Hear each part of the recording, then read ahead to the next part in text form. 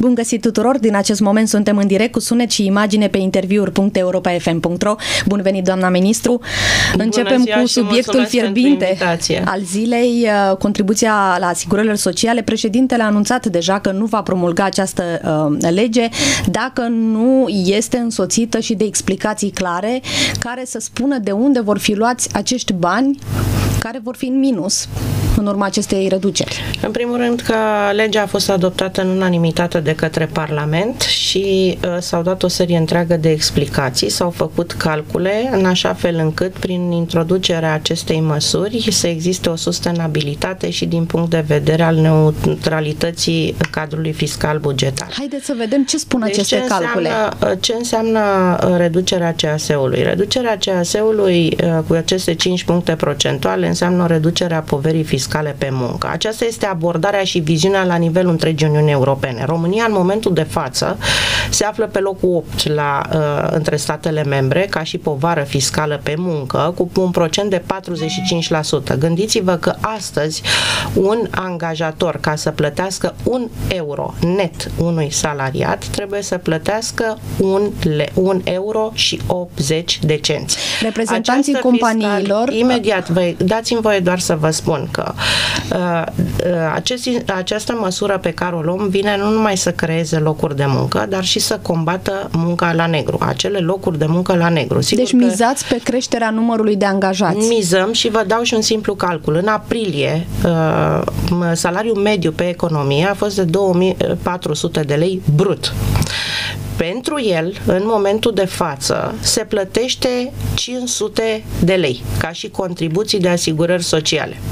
În momentul în care am reduce cu 5%, am făcut un calcul, angajatorul ar trebui să plătească 380 de lei, ceea ce înseamnă, printr-un calcul aritmetic, că la 20 de locuri de muncă existente se poate crea încă unul.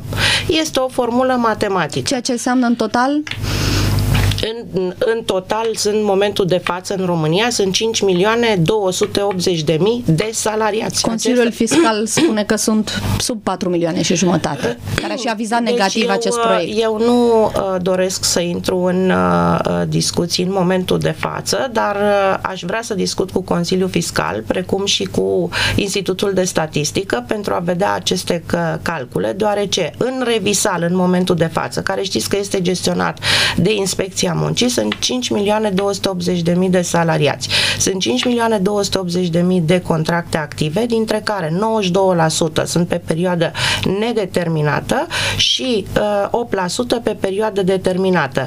La acest număr al salariaților din Revisal se adaugă și numărul de funcționari publici, bineînțeles, care sunt uh, cuantificați la nivelul uh, Agenției Naționale a Funcționarilor Publici. Din punctul nostru de vedere și or, oricând s-a aplicat această măsură, indiferent de statul membru sau România în perioada 2006-2008, prin reducerea contribuției de asigurări sociale s-au creat locuri de muncă și s-au, uh, s-a uh, redus foarte mult fenomenul muncii nedeclarate. Vă reamintesc că ne puteți urmări în direct pe internet la adresa interviuri.europafm.ro. Dacă doriți să adresați întrebări doamnei ministru Rovana Plum, puteți face acest lucru pe Facebook sau Twitter folosind hashtagul interviuri europafm.ro. Am luat noi continuăm interviul. Uh, o să facem un calcul până la sfârșitul emisiunii. Ați spus că la, fie, la, la 20 de locuri de deci, muncă se, mai se creează, creează unul. încă unul. Păi, sunt uh, salariul mediu brut pe economie 2400 de lei la 2400 de lei, a aplicat to- toată fiscalitatea, se, se plătește 500 de lei. Dar poate angajatorii vor prefera ca aceste sume Așa. să nu le folosească pentru crearea dacă unor locuri se, de muncă. Dacă, dacă poate nu, le dau angajaților sau poate, nu știu, reinvestesc. Da, se poate și asta, ceea ce înseamnă că va crește consumul și atunci va, se va colecta o mai, sumă mai mare din TVA. Deci s-au luat în calcul și aceste aspecte. Nu trebuie neapărat să creeze un loc de muncă, dar pot face investiții, uh, pot, uh, eu știu, produce alte bunuri care, puse pe piață, ele sunt purtătoare de taxă pe valoare adăugată, bani care se colectează tot la bugetul de stat.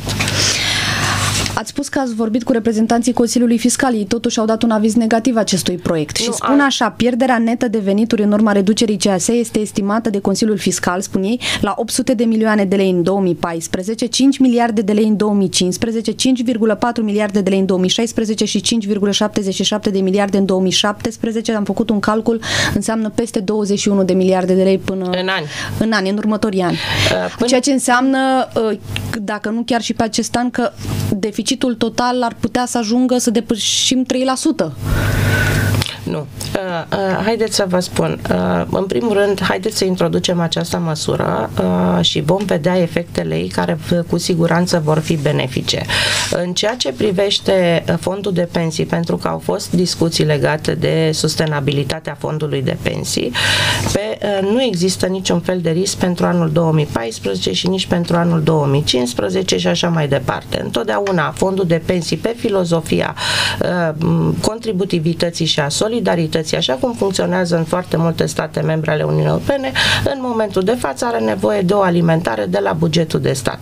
Uh, desigur că economia este în creștere, ori s-a demonstrat și în România că în perioada de creștere economică, iar la sfârșitul trimestrului 1 uh, aveam chiar o creștere economică mai mare decât cea prognozată, e adevărat cu 0,1, 3,8, 3,9%, ceea ce înseamnă că uh, măsurile pe care le luăm trebuie să conducă la uh, uh, de, o, o, o sustenabilitate a pieții forței de muncă prin crearea locurilor de muncă sau uh, dacă nu se creează locul de muncă, angajatorul are opțiunea de a produce mai multe bunuri sau servicii care sunt purtătoare de taxe și care se vor colecta la bugetul de stat.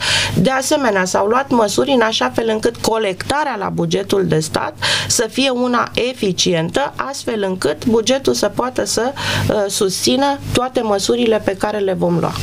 Haideți să mai lămurim, vă rog, un lucru. Spunea președintele, ca un argument al faptului că nu, nu va promulga această lege, deficitul pentru anul acesta la fondul de pensii este de 12,5 miliarde de lei. Deficitul la fondul de pensii și am anunțat și ieri în momentul Asta de față văzut. că am verificat, e de 5 miliarde de lei.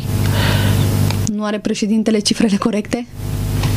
Nu știu la ce face referire domnul președinte, eu vă spun că am verificat împreună cu Casa Națională de Pensii. În momentul de față avem un deficit de 5 miliarde.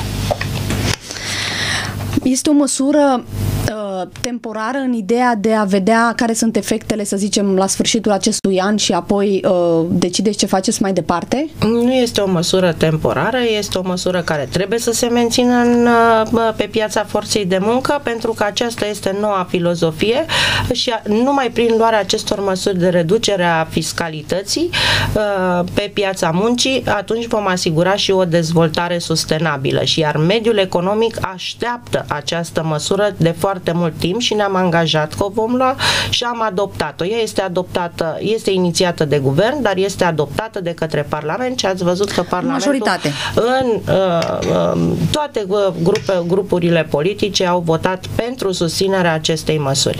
O altă variantă sugerată de economiști a fost lărgirea bazei de impozitare, spunând ei că Mai există multe discrepanțe. De muncă. Deci nu aveți de gând în să niciun lărgiți... caz nu se vor introduce taxe noi, impozite noi, sub nicio formă. Ne-am asumat acest angajament și nu-l vom face. Din punct de vedere al finanțiștilor, nu este nevoie de creșterea taxelor și impozitelor. Nici măcar pe taxele, taxele pe proprietate, cum spunea președintele? Ați discutat nu în guvern? majorăm niciun fel de taxă, nu s-a discutat în guvern nici impunere de noi taxe, nici majorarea taxelor actuale și nu se va face acest acest lucru. Nu e nevoie din calculele și fundamentările pe care le-au făcut uh, Ministerul de Finanțe și Ministerul Bugetului.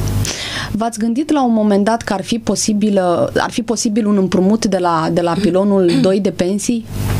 Pilonul 2 de pensii merge foarte bine. Am văzut, văzut cifrele, sunt 4 miliarde de euro. un randament economic foarte bun.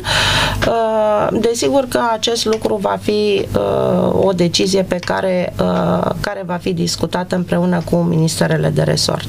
Ei ar fi disponibil să facă acest lucru? Să se împrumute fondul de pensii temporar? Nu s-a discutat acest lucru, vom vedea dacă este cazul.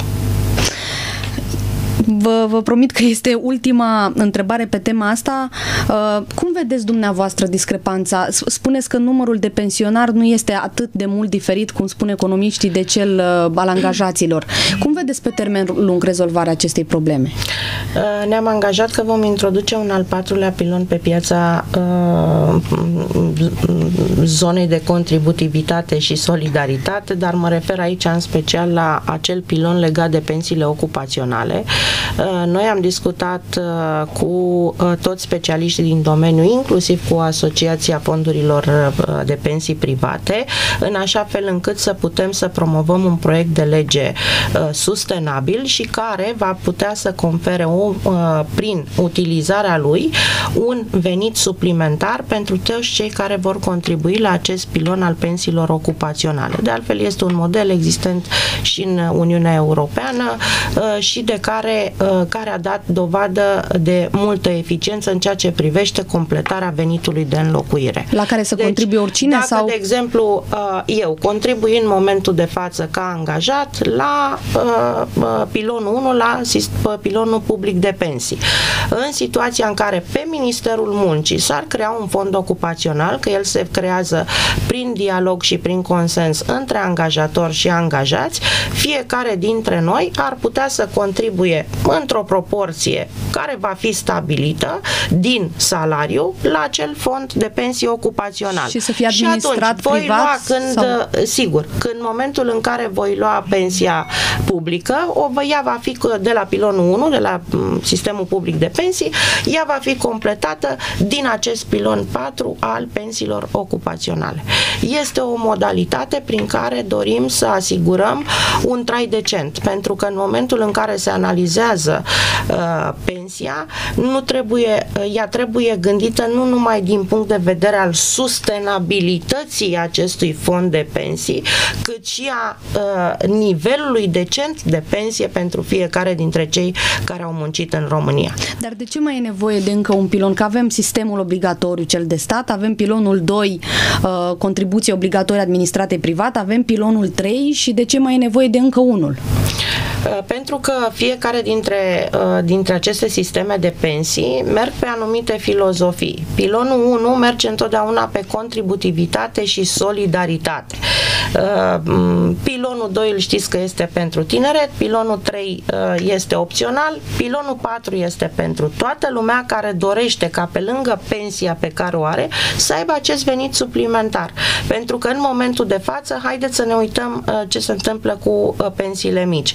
Avem um, um, foarte mulți pensionari cărora noi le dăm o pensie socială, practic o indemnizație socială, pentru că dacă ei, exact, dacă ei au muncit o zi, vă dați seama că nivelul uh, uh punctului de pensie este foarte mic și în cuantum ar veni să spunem 2 lei. De la 2 lei până la 350 de lei, toată această diferență este susținută de la bugetul de stat prin acel mecanism al pensiei speciale, uh, sociale. Ați anunțat la un moment dat că aveți în vedere majorarea acestei pensii minime. E stabilit da, ceva? este în discuție, nu am stabilit încă până la ce nivel să putem să majorăm uh, pensiile mici. Vă adresez o întrebare personală. Cotizați la pilonul 3 de pensii, cel facultativ? V-ați gândit? Nu. Nu v-ați făcut calculele pentru momentul în care veți ieși la pensie? V-ați făcut așa un calcul pe cât v-ați putea baza?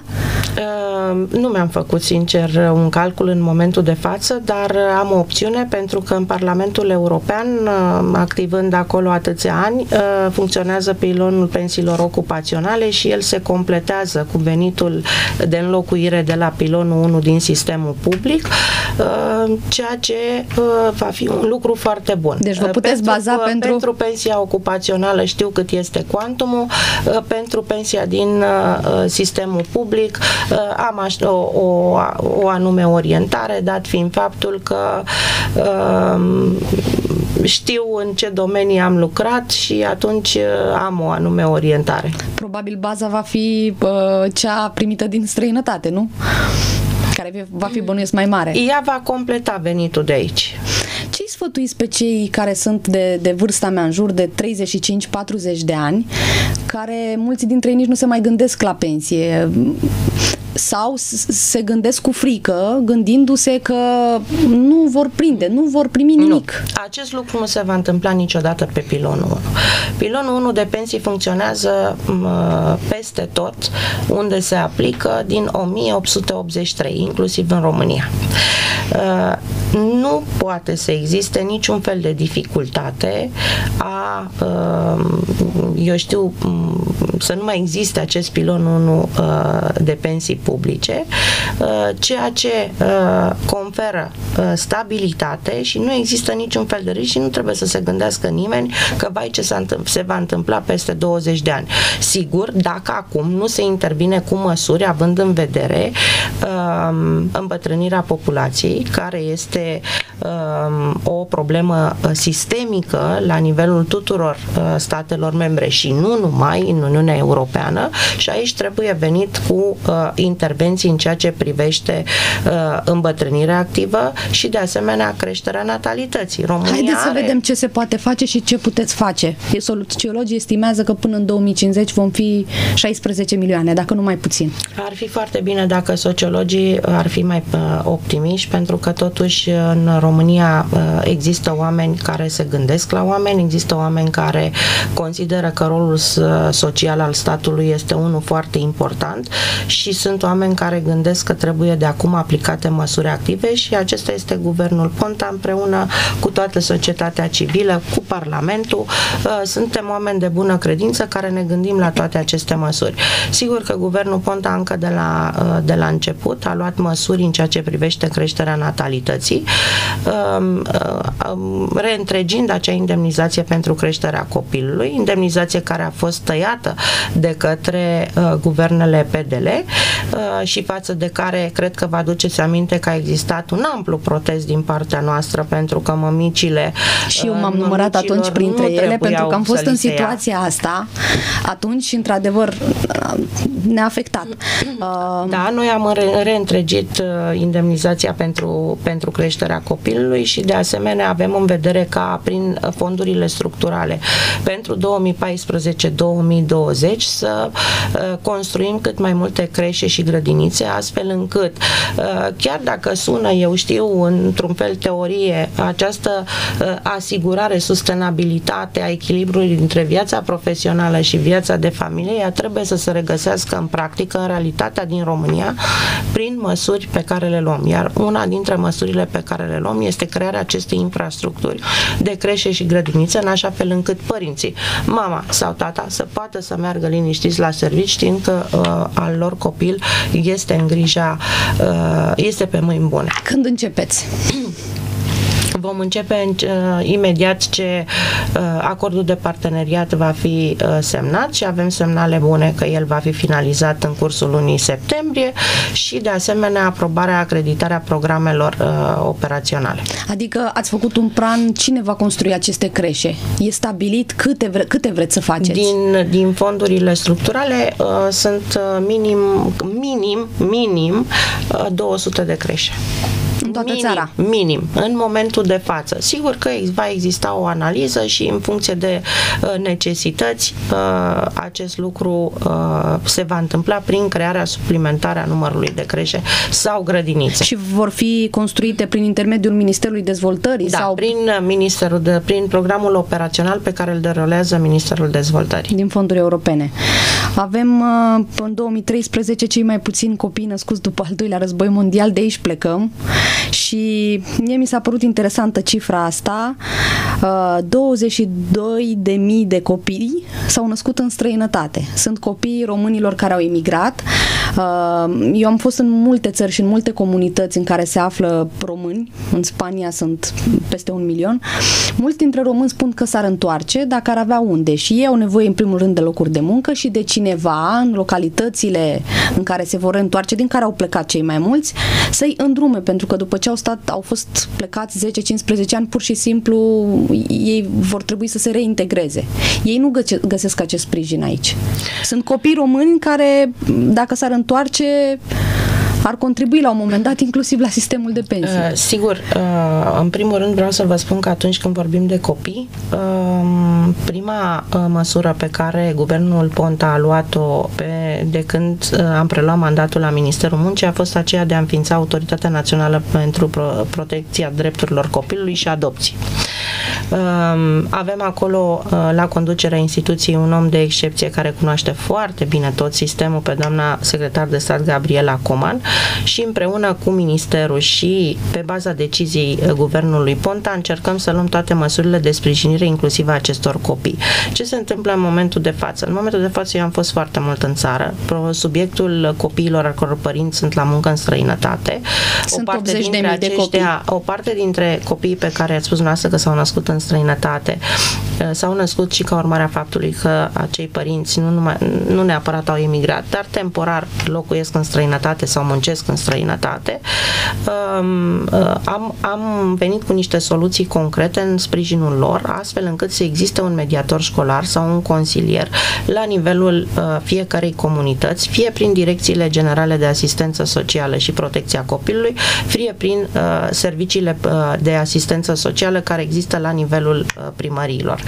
Uh, ce pot să vă spun este că uh, avem în vedere să existe un, un dialog și o coordonare metodologică între Autoritatea Națională pentru Protecția Copilului și aceste direcții generale de asistență socială și pot să vă spun că după 10 ani de zile este prima oară când eu m-am întâlnit, când un ministru se întâlnește cu tot ceea ce înseamnă director general din asistența socială de ce la nivelul spus? României.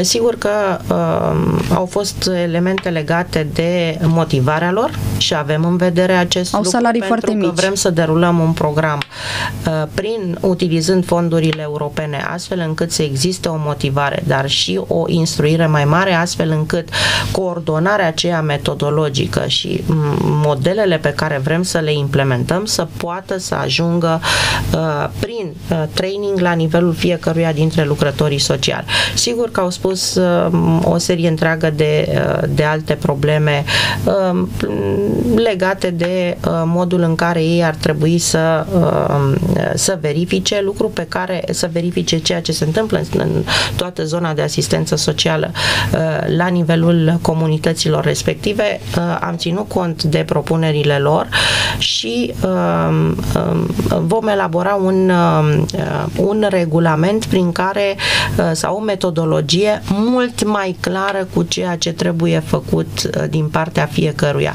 Fie că vorbim de instituția guvernamentală, Autoritatea pentru Protecția Drepturilor Copilor, fie că vorbim de direcțiile generale de uh, asistență socială și protecția copilului. Ne întoarcem la subiect, nu vreau să, să trec uh, fără să mai departe, fără să vă întreb dacă în afară de programul acesta național de construire de creșe mai aveți în vedere și alte măsuri pentru creșterea natalității, care să fie pe punctul de a fi adoptate. În primul rând, creșterea natalității uh, este un uh, rezultat al uh, bunăstării fiecarei familii. Tinerii au nevoie de locuri de muncă pentru ca să poată să-și întemeze o familie și să poată să crească un copil și de aceea aceasta este unul, una dintre, unul dintre mm, obiectivele majore pe care le urmărim. Locuri de muncă, locuri de muncă, locuri de muncă. Numai ieri ați văzut că am lansat un amplu program de, mm, de 10 milioane de euro pentru 5 5.000 de tineri uh, pentru a-și găsi un loc de muncă. Săptămâna viitoare veți vedea că uh, venim cu alte măsuri concrete uh, într-un quantum mult mai mare, utilizând fondurile europene, bani care sunt cei mai ieftini, ca să spunem așa, în așa fel încât să putem să le asigurăm tinerilor un confort și un trai decent. În afară de locuri de muncă, tinerii beneficiază de o serie întreagă de măsuri.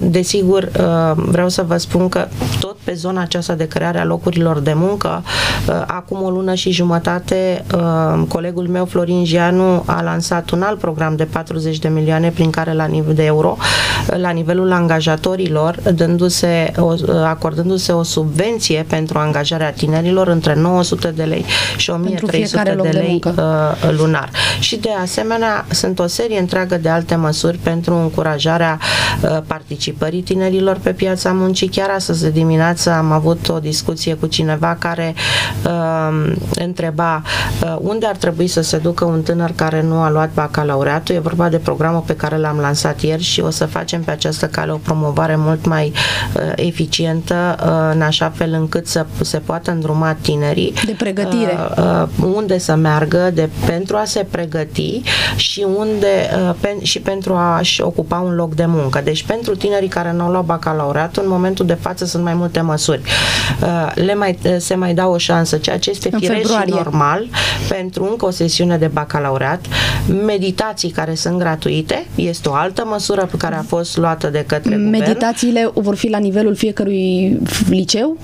Probabil că la nivelul fiecărui liceu se va constitui un, un anume uh, grup de lucru care va instrui uh, și va medita copiii. Profesorii vor, vor fi plătiți suplimentar? Uh, Ați Întotdeauna eu am o mare admirație pentru profesori și știu că profesorii sunt foarte dedicați pentru, uh, pentru uh, a da o educație cât mai bună copiilor și sunt convinsă că nu ar putea să existe niciun fel de uh, reacție decât una pozitivă și uh, din câte știu eu de la uh, colegul meu, uh, domnul ministru Plicopie, uh, chiar această propunere a fost discutată cu, cu cadrele didactice și au fost de acord și vin în sprijinul copiilor, pentru că până la urmă, lăsând la o parte politica, fiecare dintre noi uh, suntem părinți, uh, suntem oameni care vrem ca această societate să uh, avanseze. V-ați gândit și la modificarea cuantumului indemnizației pentru creșterea copilului? Sau să se revine la sistemul în care 2 ani o mamă poate să primească procentul de 85%? Da. Vă Ne-am gândit și la acest uh, lucru. Um, în momentul de față uh, nu aș putea să precizez exact când va putea, când vom putea implementa.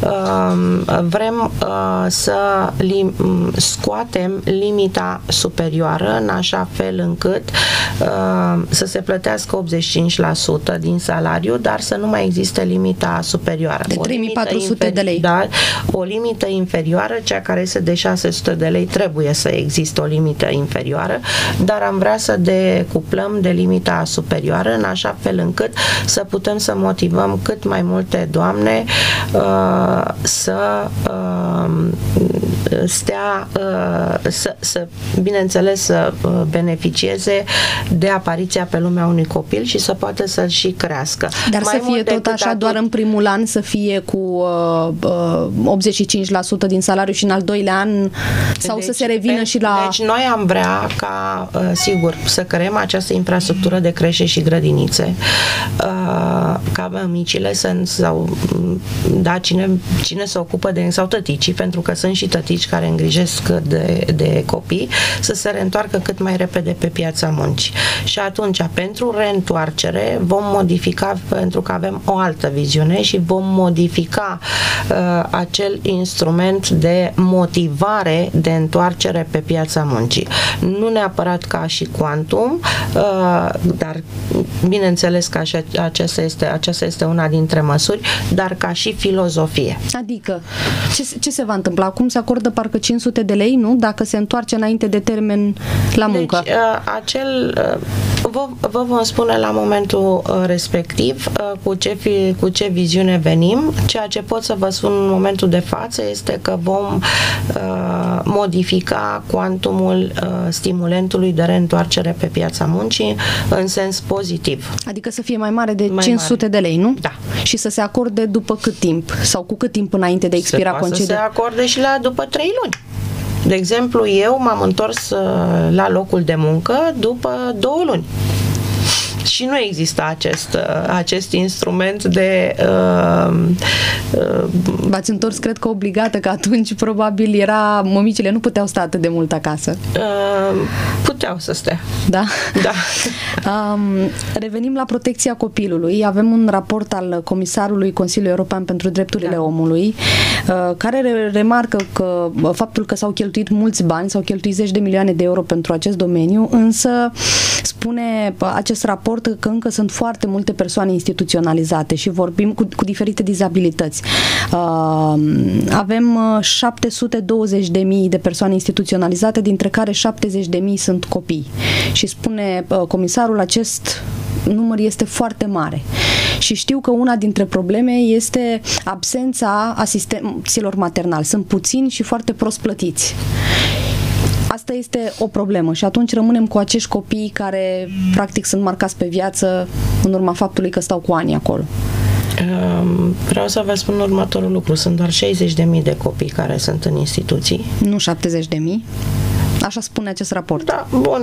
Probabil da? la momentul nu la care mulți? s-a făcut uh, raportul, uh, probabil că erau 70 de mii, dar am luat măsuri, nu am stat așa. Uh, cum s-a stat Ander la rândul pe vremea guvernărilor Boc. Raportul e de acum două zile. Au fost total marginalizate. Eu ceea ce vreau să vă spun este că am luat măsuri în ceea ce privește uh, asistenții maternali. Uh, nu mai sunt probleme. S-a făcut o nouă analiză de curând sunt la nivelul fiecărui județ, nu mai sunt probleme în ceea ce privește asistenții maternali ca și număr. Uh, sigur, aici este nevoie de o motivare mai mare a asistenților maternali. Nu se mai înscriu la uh, concursuri. Maternali, în așa fel încât ei să poată veni cât mai mulți, pentru că noi am scos, după cum bine știți, din lege acea uh, condiție că dacă trebuie să dai afară șapte ca să aduci o persoană, nu mai există acest lucru. Uh, se pot încadra, uh, bineînțeles respectându-se la nivelul uh, bugetului anvelopa salarială, uh, dar trebuie să existe o motivare mai mare în ceea ce privește acești asistenți maternali, în așa fel încât să fie, eu știu, cât mai mulți. În momentul de față, nu sunt probleme pe județe privind asistenții maternali. De aceea am și spus că și am adoptat uh, legea privind creșterea vârstei uh, la care copilul să nu poată să fie instituționalizat de la 2 la 3 ani. Știți de o problemă pe care nouă ne-au semnalat-o reprezentanții mai multor organizații neguvernamentale? Avem aproximativ 2000 de copii în maternități abandonați și uh, ne-au spus mai mulți oameni care lucrează în sistem că e o practică chiar, deci nu, nu e cuvântul exagerat, se încadrează copii abandonați în spitale într-un anumit grad de, de handicap, tocmai pentru a putea fi instituționalizați, pentru că spitalele nu-i pot ține 2 ani acolo. Și legea spune că până în 2 ani copilul nu poate fi instituționalizat decât dacă este încadrat într-un grad de uh, handicap. Știți despre acest lucru? Uh, eu nu cunosc despre acest uh, lucru. Preiau ca atare ceea ce dumneavoastră ați sesizat acum și vom verifica acest aspect. Lucrați la o strategie pentru persoanele cu dezabilități? Da, se lucrează la strategia pentru persoanele cu dizabilități și sperăm ca până la sfârșitul acestui an ea să poată să fie și adoptată. S-a lucrat cu organizațiile neguvernamentale reprezentative ale persoanelor cu dizabilități. Uh, sigur că au fost o serie întreagă de propuneri și observații în momentul în care eu am venit la Ministerul Muncii. Am rugat să se țină cont uh, de toate propunerile pe care aceștia le fac. Se lucrează și împreună și cu UNICEF-ul pentru că uh, vorbim în general de persoanele cu dizabilități și copii și adulți, în așa fel încât să avem o strategie uh, europeană în România pentru persoanele cu dizabilități și sper Ce urmăriți? Curând... Ce urmăriți? Adică bănuiesc că unul din principalele obiective este atragerea de fonduri europene pe anumite proiecte, nu? Uh, sigur că pentru persoanele cu dizabilități pe următoarea perioadă de programare avem stabilite clar niște măsuri astfel încât prin proiecte sau prin programe, uh, așa cum a fost cel pe care l-am lansat săptămâna aceasta privind economia socială, nu numai să creăm întreprinderi sociale, să creăm locuri de muncă, dar să dăm posibilitatea categoriilor vulnerabile, cum ar fi și persoanele cu dizabilități, să devină activi, să se reîncadreze. Bineînțeles, o mai mare protecție a lor uh, în, în ceea ce privește uh, protejarea în fie în centre, dar ceea ce dorim noi foarte mult este ca asistența să fie uh, mai mult la domiciliu. Raportul menționa, acest raport uh, al Consiliului Europei, că numărul instituțiilor în care sunt acești oameni cu probleme s-a dublat în ultimii 8 ani, de la 141 la mai mult decât dublu, la 335 în 2013. Uh, bun. Și mai spuneam, cer scuze, sunt îngrijorătoare. Presupun că, în special pe perioada crizei, când toate aceste categorii au fost pur și simplu marginalizate și nu s-a acordat niciun fel de atenție. Se menționează în raport uh, condițiile de trai inadecvate, marginalizarea socială, lipsa accesului la justiție și inclusiv dreptul de, de la petiționare. Adică, concret, să nu vorbim în, în limbaj de lemn, sunt acești copii instituționalizați și adulții care pur și simplu nu au o foaie, nu au un creion, nu au un plic unde să reclame presupun eventuale abuzuri ale angajaților. Veți vedea că măs- măsurile cuprinse în strategia pentru persoanele cu dizabilități prevăd toate aceste aspecte. Ați fost în astfel de centre? Decât da, am fost. Ce ați găsit? Vă v-aș întreba ce v-a marcat. În primul rând, uh, m-a marcat uh, emoțional uh, faptul că există astfel de situații, dar în același timp am simțit că trebuie să facem mult mai mult în așa fel încât să-i putem ajuta și să, să poată să devină contributori activi la societate. Sigur, nu vorbesc de acea categorie care are nevoie permanentă de asistență medicală uh, și cu care, uh, pentru care vreau ca împreună cu Ministerul Sănătății să decidem uh, cum pot funcționa acele centre în care uh, persoanele care uh, suferă de anumite boli psiho uh, socio-psiho-psihice să, să poată să fie îngrijite. Um, sigur că m-a determinat faptul ca să uh, putem să luăm uh, cât mai rapid, cât mai multe măsuri, pentru că în centrele în care am fost nu erau numai persoane cu dizabilități. Erau amestecate. Erau, Asta e o mare problemă. Erau și uh, persoane uh, în vârstă, uh, însă vreau să vă spun că dorința lor de a sta de vorbă cu cineva, dorința lor de, de a vedea pe cineva că se interesează de problemele lor este foarte mare uh, și voi continua astfel de vizite în așa fel încât măsurile pe care le vom lua să fie cât mai aplicate și cât mai concrete raportate la uh, situația acestora. Unde ați fost? În ce... Am fost în mai multe județe. Ultimul județ în care am fost într-un astfel de centru uh, este județul Hunedoara. Da. Uh, sunt și copii, știți, la un loc cu Știu. adulți Știu. Uh, și o mare problemă. Fete cu băieți, inclusiv mi-au spus reprezentanții organizațiilor neguvernamentale, e o problemă inclusiv în acele apartamente pe care statul le oferă în mod gratuit acestor tineri. Uh, sunt amestecați copii cu adulți, uh, fete cu băieți, uh, sunt persoane convinsă, bolnave cu persoane sănătoase. Eu sunt convinsă că Autoritatea pentru Protecția Drepturilor Copilului și Adopției va face ordine în acest domeniu. Pentru că ați vorbit de adopție, ați pomenit, se are în vedere relaxarea între ghilimele, legii, astfel încât să nu mai fie nevoie căutarea rudelor până la gradul 4 cu ani? La acest aspect se lucrează în momentul de față împreună cu UNICEF-ul. Adică? Tocmai pentru a putea uh, încuraja uh, adopțiile. Copiii au nevoie de familie, uh, copiii au nevoie de afecțiune, uh, mai ales atunci când sunt mici, nu numai, în general, uh, și se caută uh, să se completeze toate acele proceduri necesare astfel încât să debirocratizăm sistemul, dar în același timp să nu se repete greșelile din trecut, pentru că știți că au fost probleme pe acest domeniu. Uh, am vorbit chiar uh, ieri cu uh, doamna secretar de stat Gabi Coman care mi-a spus că în ceea ce privește procedura de potrivire, pentru că aici a fost uh, o, o anume problemă, ea este aproape de finalizare și sunt convinsă că va fi foarte bucuroasă să o explice.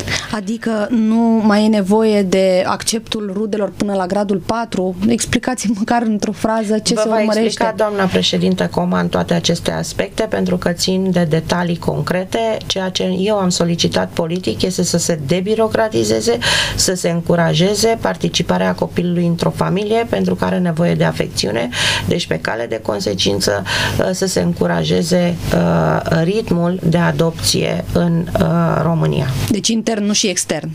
Se discută deopotrivă și pentru partea uh, externă să vedem cum uh, să facem în așa fel încât să nu se repete greșelile trecutului. A stabilit împreună cu ceilalți membri a guvernului că uh, cei din personalul navigant va primi o indemnizație de recunoaștere a muncii pe care au exercitat-o după ce au rămas cu pensii mult mai mici, în cuantum de 3-4 mii de lei, înțeleg? Este vorba de o indemnizație, da. Vom avea în, e un proiect de lege în Parlament. Parlamentul va decide pe cale de consecință. Ceea ce eu am uh, uh, promis și mă voi ține de cuvânt este să mă reîntâlnesc cu uh, asociațiile uh, care reprezintă personalul civil navigant pentru a stabili clar uh, categoriile uh, cărora li se vor da aceste indemnizații. E vorba de 1243 de uh, persoane, uh, 1243 de persoane uh, din care fac parte piloți, însoțitori de bord, mecanici, uh, de, uh, de asemenea uh, personalul supraveghetor și parașutiști. Aveți în vedere și alte categorii sociale? La un moment dat se vorbea și de grefieri da. și v-aș întreba dacă... E, Sunt e pe de... aceeași linie și grefierii. De fapt, e vorba de personalul auxiliar din magistratură, un număr de 2000 de persoane. Și alte categorii sau doar ei deocamdată? În momentul de față doar ei, le luăm treptat, au fost foarte multe uh, nedreptăți făcute de guvernările BOC, nu putem să le facem, să reparăm totul peste noapte, dar ați văzut că am luat o serie întreagă de măsuri de 2 ani de când am preluat guvernarea în așa fel încât să reparăm toate nedreptățile sociale care au fost făcute prin reîntregirea salariului, reîntregirea pensiilor, mai mult majorarea pensiilor care va continua și în anul 2015. E stabilită o cifră cifră? Între Cu 4 cât? și 4,5% toate pensiile vor fi majorate în 2015. De la 1 ianuarie sau? De la 1 ianuarie, conform legii.